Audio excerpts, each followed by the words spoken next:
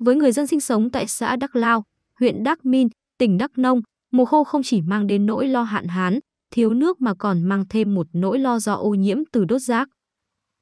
Rác thải ô nhiễm, khói do đốt rác mù mịt, không khí ngột ngạt là tình trạng tại bãi rác xã Đắc Lao, huyện Đắc Min, tỉnh Đắk Nông. Cứ đến mùa khô hàng năm, bãi rác thải này lại được đốt liên tục.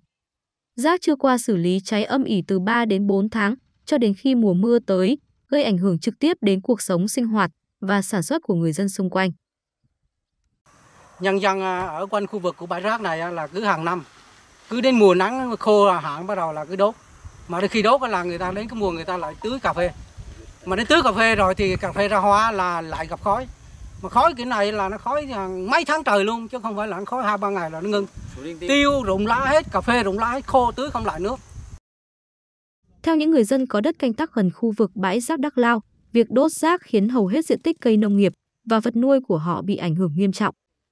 Cây rụng lá, chết cành, không thể phát triển, thiệt hại về kinh tế là rất lớn. Bà con nhân dân ở, ở quanh khu vực rãi này rất cần là sự hỗ trợ của chính quyền địa phương là giúp đỡ cho bà con ở đây là cái gì giải quyết được cái bãi rác này đi để cho bà con đỡ cái nạn khói cái này. Bãi rác tại xã Đắc Lao được đưa vào sử dụng từ năm 2011 với diện tích gần 3 hecta, mỗi ngày tiếp nhận khoảng 50 tấn rác. Hiện nay, các xe rác đã không thể đi vào các ô chứa do quá tải, gây ô nhiễm môi trường và ảnh hưởng đến hành lang quốc lộ 14C.